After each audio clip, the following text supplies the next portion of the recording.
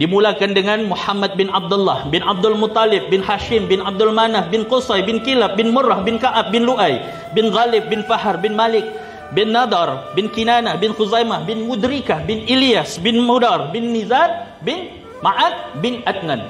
Salasilah keturunan baginda Nabi sallallahu alaihi wasallam keturunan yang mulia. Tengok salasilah keturunan dia Bani Adnan yang terhormat Mekah ketika itu.